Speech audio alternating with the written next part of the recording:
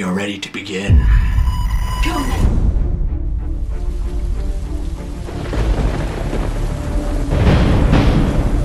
I think there's a lot of changes that happened to the channel recently, and I haven't really addressed them. And this is the question that everybody's been asking. It's on every single video. It's in every single comment section. They, they change the rules on the algorithm constantly, and it's it's incredibly tiring. The way YouTube changed everything about how their site works, to the algorithm, to the way videos go out, but YouTube doesn't reflect that excitement, and that's where it's annoying. On the 17th of January 2013, four siblings from the state of Ohio would begin a YouTube channel with the overall goal of creating variety gaming content. This fact by itself isn't all that interesting, but if I were to tell you that only six months after creating the channel, they were getting 60 million views per month, then it makes the story slightly more interesting. However, if we take it one step further and I tell you that that same YouTube channel doesn't even crack 2 million views a month these days, then you might raise an eyebrow and ask what could have possibly gone wrong. The channel we're talking about is known as Venturian Tale, and whether their channel's downfall was owed to their failure to adapt to an ever changing YouTube algorithm. Basically, because YouTube's algorithm has kind of changed, and they've made it that the more videos you put up, the less people see them. It's a really weird thing, and I don't know what's going up on with it. Their eventual lack of commitment for the channel, There won't be any uploads for a little while. And I just wanted to let you guys know because I think it's fair to you guys to know. or just a total unwillingness to make any changes to their content over a seven year period, Basically, the channel is pretty much going to just keep being the same. I mean, nothing's really going to change. their story is an astounding case compared to many others on the platform. This is the downfall of the Venturian Tale channel.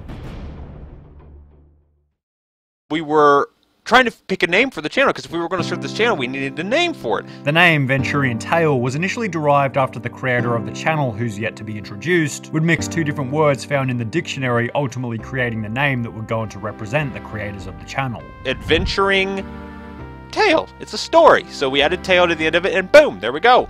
Venturing Tale was born. The Venturian Tale channel then began on the front foot by immediately introducing somewhat of a unique idea comparative to what was available on YouTube at the time a constant collaboration between four different family members. On the 31st of January 2013, only four weeks after the creation of the channel, the audience would be introduced to the first two siblings Jordan Frye, who was the creator of the channel, and his sister Cierra Frye, who appeared in the very first video on the channel titled Let's Play a Minecraft Tale The Adventure Begins. Greetings, everybody who will maybe sometime watch this video. Sometime on the tube of the Sometime. The tubes. Probably not ever. The final two siblings being Bethany and Isaac would then be introduced only one day later, when the channel would upload a video titled Siblings Play Slender Part 1. Greetings, everyone.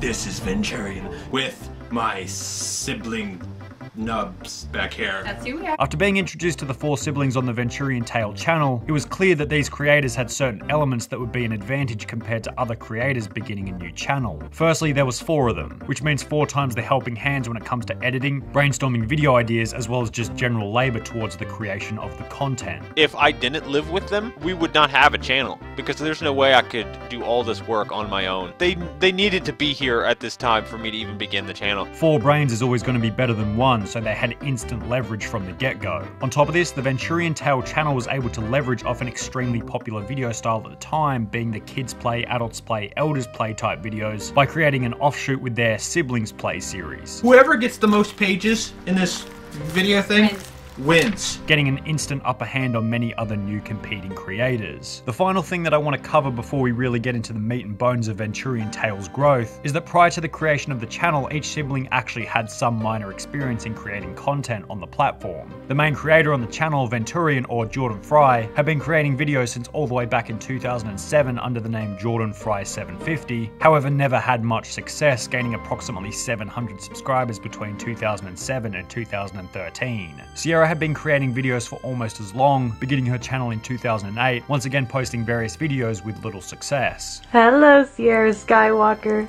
Hey, better not be filming.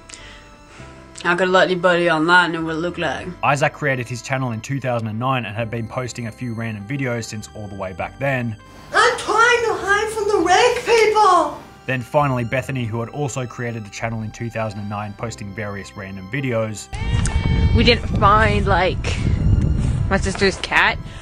But I'm cold, so I'm going back. To the car. but receiving minimal success before the creation of the main Venturian Tale channel. Despite having a background in making videos, Jordan, the creator of the channel, never thought that he would begin making videos with all the siblings as one main channel. I've always had a background in making videos on YouTube, but I've never recorded them as in, like, myself as my personality in the forefront. Usually it's like I'm in a video for something. But while laying awake one night, felt a compelling urge to begin making videos as a group. I, c- I couldn't I couldn't sleep. I couldn't think about anything else, and I thought, you know what?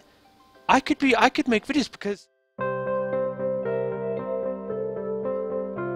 And it seems as though this random desire to begin the Venturian Tale channel, despite each creator receiving minimal success personally, was the right move for the family. Because if you take four siblings, all of which having some basic idea of what does and doesn't work on the platform, success is sure to follow, which is exactly what happened. The earliest piece of data available shows that only 12 days after the first video was posted, How do you make an act? What do you mean? You don't know how to make anything? No. Venturian Tale was already at 2,000 subscribers. 2,000 subscribers in 12 days. An almost unprecedented level of growth for any channel on the YouTube platform. Now, it's possible that some of this growth was the result of each creator asking their audience to subscribe from their own personal channels. However, I can't really find any evidence of this, and each channel was quite small at the time, so we're going to assume that most of this growth was completely organic. It also didn't seem like this first month of growth was just a one off fluke, because in both March and April, the Venturian Tale channel would grow a further 12,000 subscribers, rounding the channel off at 15,000 subscribers only three months after their first video was posted. Much of the growth was owed to the fact that there were four people running Venturian Tale, giving the channel the ability to pump out up to three or four videos per day on an extremely consistent basis. We're actually going to try our best to keep the videos uploading steadily so that um, there's no breaks. You know, you, you won't see uh, much of a decline in uploads. Hopefully. On top of this, much of the initial growth was owed to the channel displaying very specific game modes and mods, such as the TARDIS Doctor Who mod, We will be exploring time and space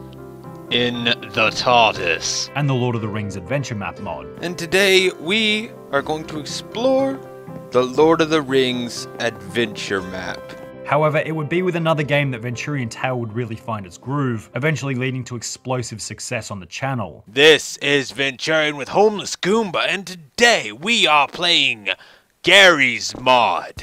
Yes. In early April 2013, a fan of the channel by the name of Brad the Lad would send Venturian a copy of the game Garry's Mod. what made you start playing Gmod? Actually, someone by the name of Brad. He actually sent us free copies of Gmod, so we thought, you know what, let's film it. And as stated in the previous clip, a video of the game would be posted after shortly on the channel. This is a, a disclaimer, but we know nothing about Garry's Mod. Yeah, Okay.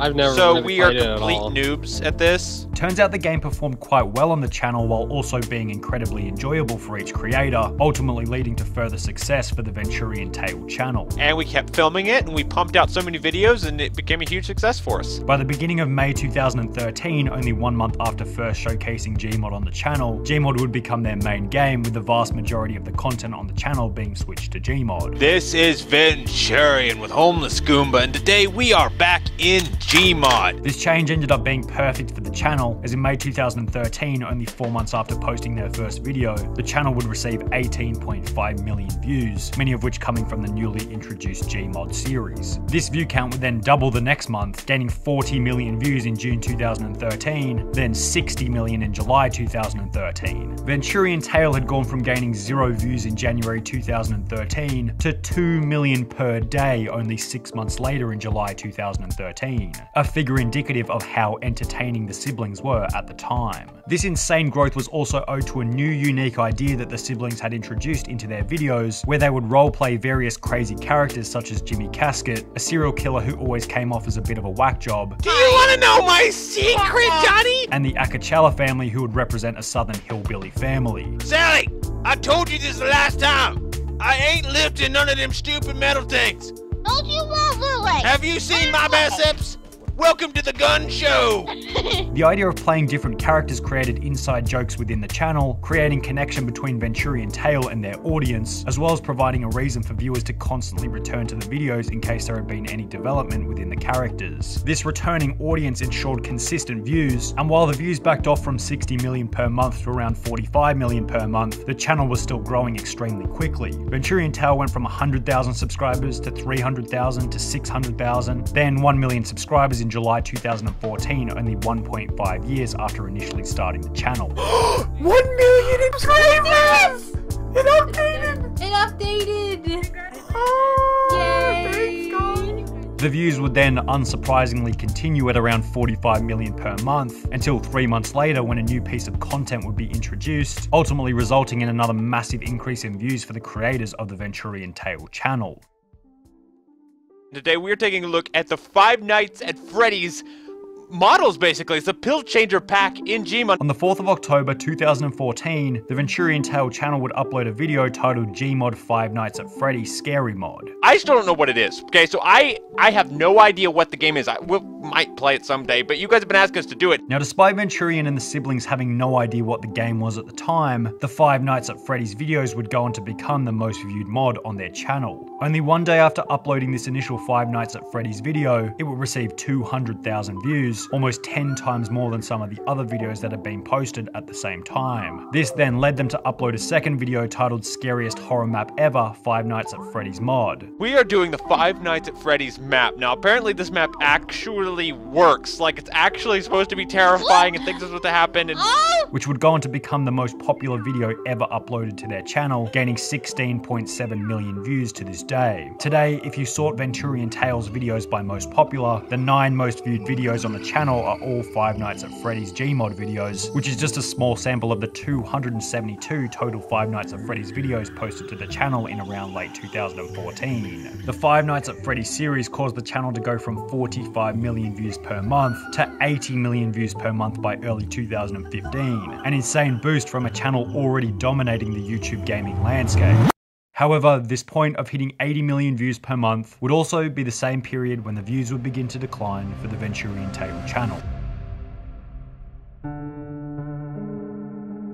In February 2015, only two years after the first video was posted to the channel, while sitting at a subscriber count of 1.5 million, the Venturian Tale channel would see a peak in viewership followed by a long-term decline, ultimately resulting in the death of the channel. Who would have seen it coming? The 80 million views received in their peak month would have given confidence in the future of their channel to even the most pessimistic of fans, but an incoming failure was on the way for the siblings running the Venturian Tale channel. By July 2015, only six months after receiving 80 million views in the month, the views on the channel would drop down to only 55 million. Now, there's no problem with this. That kind of fluctuation is pretty standard for any kind of creator, especially considering most of these 80 million views had come from their Five Nights at Freddy's Gmod videos, which were extremely specific, did not have much room for differentiation, and were not going to keep an audience interested over the long term given the lack of possible alterations within each video. However, the drop in views really started to become apparent by the end of the year, because their channel hadn't switched their content style and recovered back to 80 million views per month, but rather gotten worse and dropped once again, receiving only 33 million views in the month of December to round off the end of 2015. The first thing that might explain Venturian Tales' initial drop in views could be the drop of not only the popularity of Five Nights at Freddy's, but also the popularity of the main game that they were playing, Garry's Mod. If we look at the Google trend graph, we can see that the popularity of Gmod was at its peak in July 2013 as their channel was taking off, but by February 2015 when the views in the channel began to decline, Gmod was also beginning to decline in popularity fairly rapidly. This decline in Gmod's popularity can be correlated almost perfectly with the decline in Venturian's viewership, and as seen on the view graph, the views were about to drop even further. Both 2016 and 2017 saw a further decline in views for the Venturian Tale channel, and had dropped from 33 million per month in early 2016 to only 10 million per month by early 2018, at which point it was becoming more and more obvious as to why Venturian Tale fans were departing in droves. Venturian Tale had not changed or improved its content in the slightest over the five years of activity on YouTube. If you take Venturian's first Gmod video and compare it to their Gmod videos of 2018, spotting a difference in video style and quality is somewhat difficult. By 2018, unfortunately recording an hour of gameplay and putting your face in the top left hand corner just didn't really cut it anymore. The value on YouTube had well and truly switched to reward creators who are putting in insane amounts of effort into their videos, and when you have people like Vanoss making multi-angled, extensively edited, well thought out ideas playing a similar game to Venturian, how are the siblings possibly going to compete? And the answer is they're not going to compete, leading to a decline in viewership. A seemingly running problem that's seen in so many of these downfall videos. Creators from the early 2010s gained popularity making entertaining but fairly simple gaming videos, but failed to notice that by around 2016 these basic videos simply weren't comparatively good enough to keep people entertained anymore. Then in January 2019, after the views had dropped once again to only 4 million per month, Venturian Tale wouldn't upload a video for a whole month, only to return with a video titled Why I Left, which raised some eyebrows in relation to the siblings' commitment for the continuation of the channel. Uh, you guys haven't seen me in almost a month, um, and that's because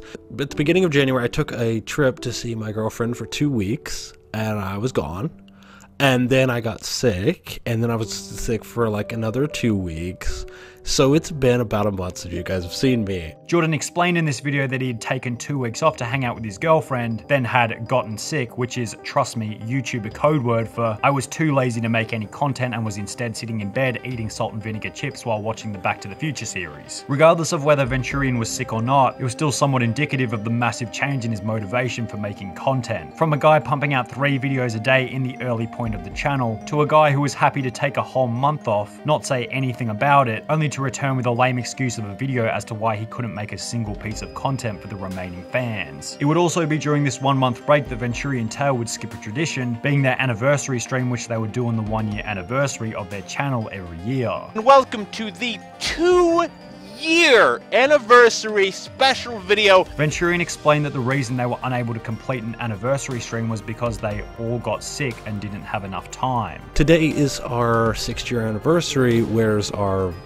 special with me being gone and then being sick and then other people getting sick and then a whole mess of things it it kind of we didn't have time to prepare for it we didn't have time to set it up Which I mean, look, it's fair enough, but saying that you just took a month off to hang out with your girlfriend then saying you didn't have enough time is a pretty contradictory argument. Venturian would then upload a video in October 2019 titled What's Happening, with a similar premise to the Why I Left video, however, this time telling everyone why he was leaving in advance. Um, because I'm going to actually be gone for close to a month because I'm actually flying out to California and then I'm taking a road trip with my girlfriend. So there won't be any uploads for a little while. And it's like, if you want to have a thriving personal life with one month breaks here and there, then fair enough, man, we can see why you'd want to do that. But if you want to be a YouTuber and expect your audience to be waiting for you to get back, then you're probably living in fantasy land. On top of this, the whole video in reality was 20 seconds of him saying he's taking a month off, then another 7 minutes of just totally useless content. I have no idea what to vlog about.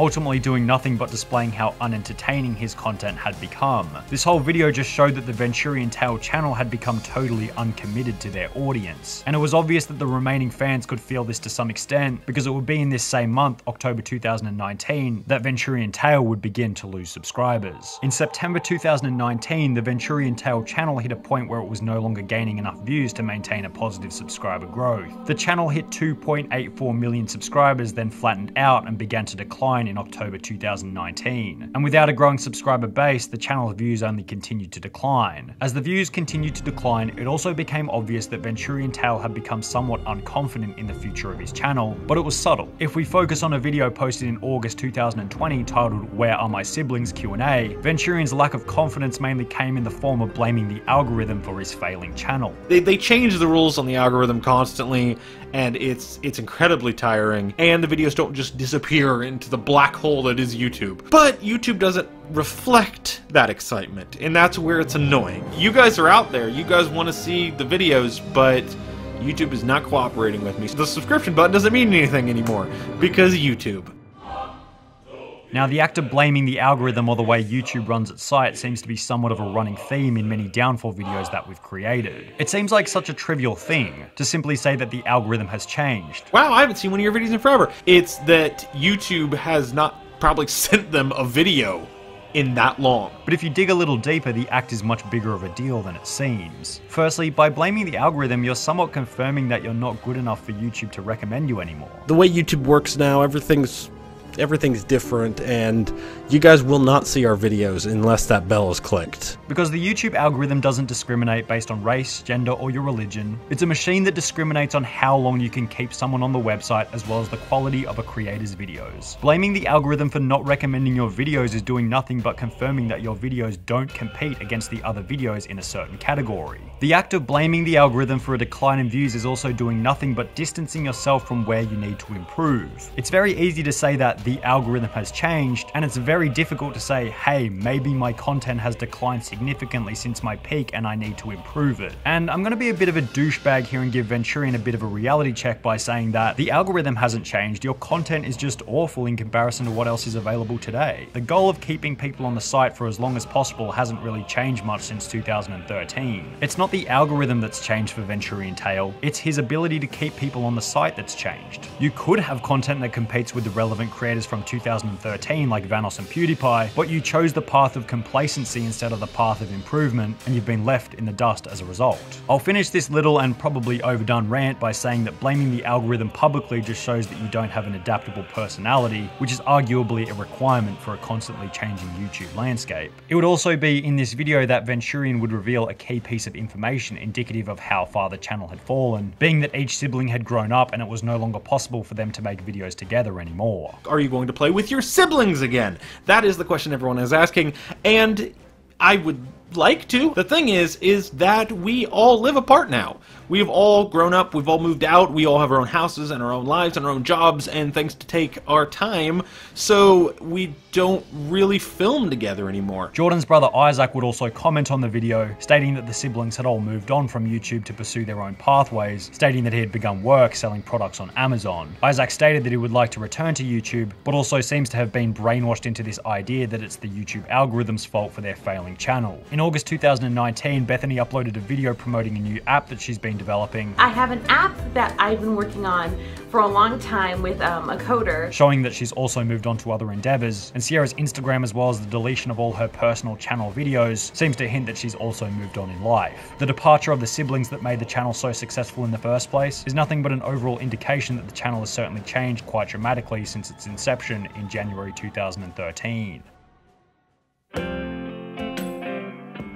Then, more recently, the views on the channel have dropped even further to around 1.5 million per month in recent times. Venturian Tale has gone from uploading three times per day to only once per week. Why do you record only once a week now? YouTube! Once again, buying into some kind of bizarre delusion where he thinks that uploading less will ensure that more people see his content. The more we put up videos, the less views each one got, so we've been trying to um, put up less. You know, I would like to upload more, I figure if I put them up once a week, everyone gets a chance to see them, and the videos don't just disappear into the black hole that is YouTube. The overall reason for Venturian Tale's downfall, his content wasn't improving while everyone else's was. Then, when it did get to the point where he realized that his videos weren't good enough to compete, his ego tricked him into thinking that his videos were perfect, and it was the algorithm's responsibility to change, rather than his personal responsibility to improve his videos to a level comparable to the other creators on the platform. Obviously, the algorithm is never going to change for a single creator and is always instead going to favor the collective. While Venturian Tale sits back and blames the algorithm, they, they change the rules on the algorithm constantly, and it's it's incredibly tiring. His channel does nothing but continues to decline in viewership, and until he's able to look at his own flaws and come to terms with the areas in which his videos need to improve, his viewership is unlikely to ever increase from the 1.5 million views per month he's currently receiving.